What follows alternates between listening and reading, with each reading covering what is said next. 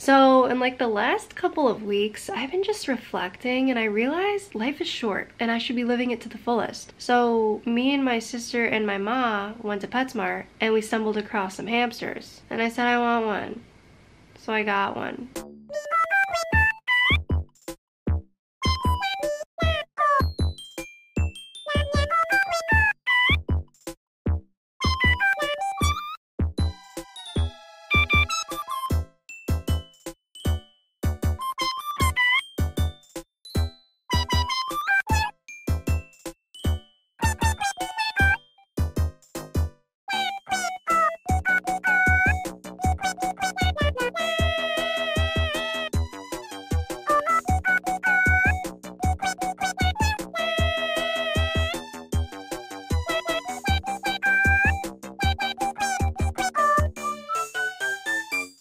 Hamsters were my best and only friends growing up. When I was a kid and my mom let me get a hamster, it was literally the best day in the entire world and I'm experiencing that same amount of joy right now. Pinky's not like other hamsters. Like she's like a lot smaller. She's not like those other hamsters that are all like, oh my god, I'm a hamster. Like I'm big and I'm slow and I look like a dork. Like she's not like that. No offense to all the other hamsters. She's extremely classy. Like she just knows she's pretty. Like I can't explain it. When she walks around, she's just like, oh, like, do you want to get my good side? Oh wait, I have all good sides. Like that's literally this hamster. I love her so much. I want to be her. She's so confident. So yeah, I spent about like 20 times the amount that she actually cost on her cage and all the accessories which was it was worth every penny i had so much fun with this and i can't wait to keep improving it i want to save up on like the toilet paper rolls and just create tunnels like an underground world for her i just want her to be so happy and i want to like spoil her so yeah this is the setup I have like this little chair and I just kind of sit on it and like watch her. I've already watched her for like, I don't know, like two to three hours. I just sit here and I just watch her. It's a lot more like healthy for your mind. Like instead of going on my phone and scrolling through Instagram or Twitter, like I'm sitting here admiring this creature. Sometimes you see her like squished against the glass or she'll walk on the wheel or she'll eat some seeds. She'll stuff her face and then she'll like throw it all up somewhere in the corner. Bianca, what do you think about me getting a hamster? So let's tell more of this story. We were in PetSmart and I saw the little hamsters and one was so, so little. I knew Giuliana would like it because it's so small, it was so beautiful. I went to go get Giuliana. She was just kind of like all over the place and I was like, you have to cook these hamsters. Like I pulled her over and yeah. what kind of cage do I get it? Oh, maybe I want to get them. Oh, look, little baby balls, Bianca. I really want to go home. I'm ready. Wait, mommy, I want to get this hamster. and she's like, wait, I really want it. Wait, should I get it? Wait. I really wanted it. It was so beautiful. And she's had, what, five hamsters? Yeah, I'm a pro at hamsters. Five hamsters. Okay, so what's the official name of this breed of hamster. It's called the Robo Hamster, averaging under two centimeters at birth.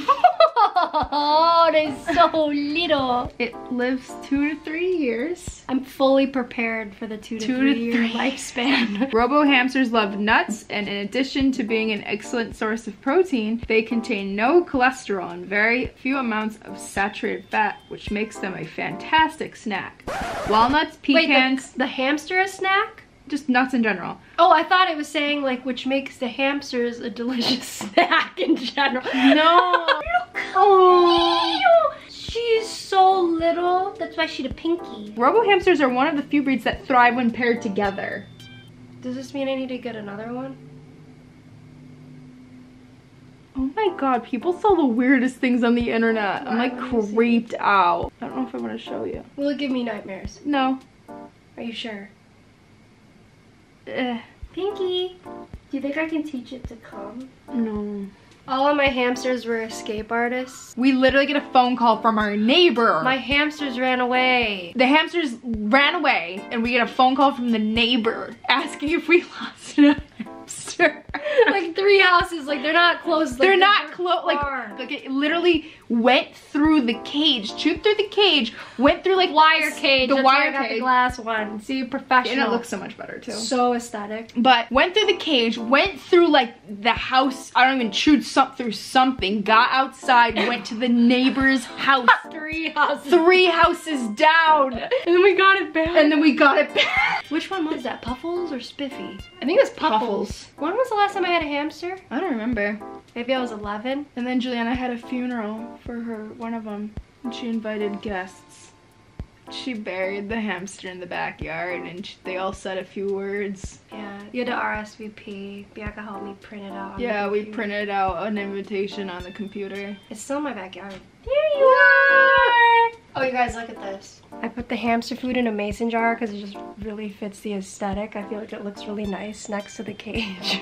this is what being 24 years old and owning a hamster looks like. And then I got this jar and I put these little treats for her in there. Then I use this empty toilet paper roll thing to like pick her up because she's way too fast. I'm scared to do this because she'll literally jump right on my hand. So I have that. Literally. I have this little food dish and I got this little salt lick. Isn't it beautiful? So it's like a little sunflower and then this is where she eats and drinks her water. And her house, she's currently in here. I think she wants to be left alone. Even though it's nighttime, like you're supposed to wake up. I thought you were nocturnal. Right? can I go to Wait, I want to show you this. She really loves this. It's a birch tree. I liked how it had that like light.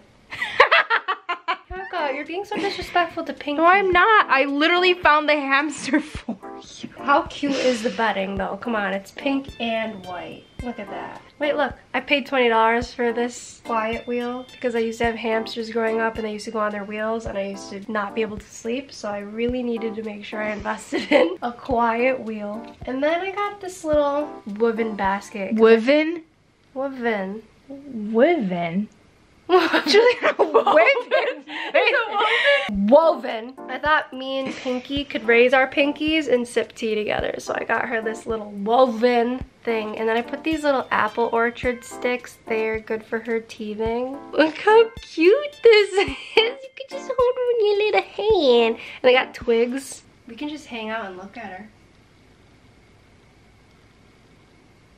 She's supposed to be awake right now. Giuliana, just, I actually, now that I think about it, I've been trying to play with her for like the last two hours. it's okay, let her sleep. Wait, she's like very. Stop it! Becca, what? I'm so tired. Okay, go to bed. Shh, be quiet. She's trying to sleep.